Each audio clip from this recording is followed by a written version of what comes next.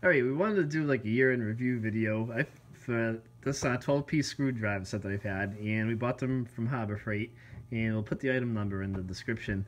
Um, but I've had these for about a year, and on some tools we like to try them out for a while to see how they work, and then do like another review on them to tell you uh, how we made out with the product. Um, on these right here, these screwdrivers are okay. Uh, we buy a lot of stu stuff from Harbor Freight, and we have a lot of good luck with a lot of stuff. But out of five stars, five being the best, I'd probably give these like a two and a half.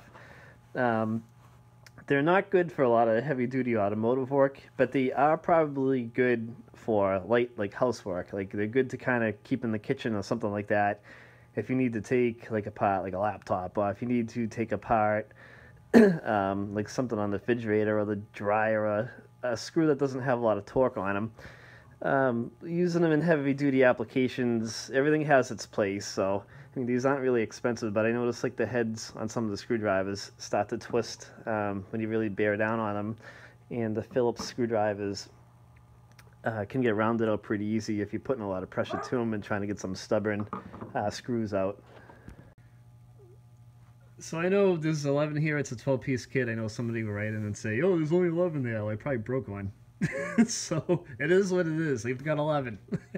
but uh, yeah, it is. You know, if you're using these, like I said, for a light application, go for it. If you need something more heavy duty, look around the store, and uh, there's probably better alternative options for you.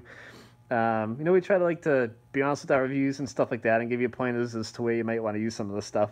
So, hope you liked the video and give us a thumbs up, subscribe to the channel.